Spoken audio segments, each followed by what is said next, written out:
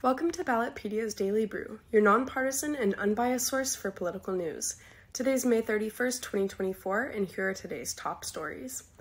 New Mexico is holding primaries on June 4th for congressional, state executive, state legislative, and local offices, with a record 42 contested state legislative primaries this year. All three U.S. House seats are up for election, with the second race, second district race between incumbent Democrat Gabe Vasquez and Republican Yvette Herrell being a closely watched battleground.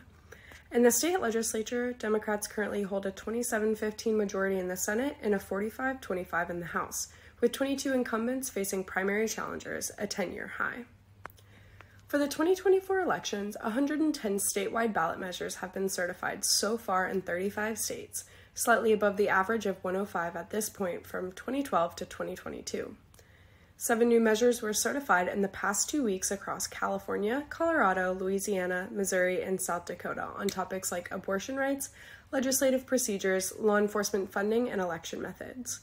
Additionally, signatures were submitted for 10 potential initiatives in California, Idaho, Missouri, Nevada, and South Dakota pending verification.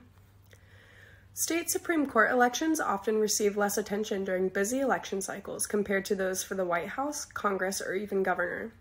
However, the country's 52 state courts of last resort play a significant role in shaping the laws and policies in each state, including issues related to redistricting, abortion, and elections.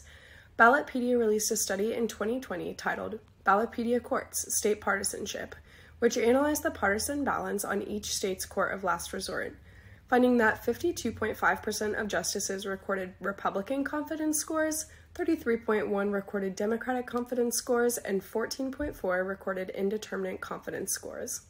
Subscribe for free to Ballotpedia's Daily Brew to get these stories delivered to your inbox, or click the link in our bio to read online. Thank you.